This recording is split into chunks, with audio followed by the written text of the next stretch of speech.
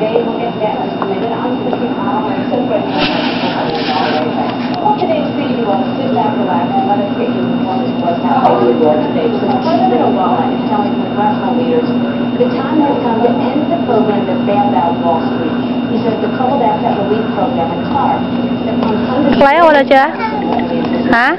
has served its purpose. Hả? Nhảy hả? These efforts, we're going to wind down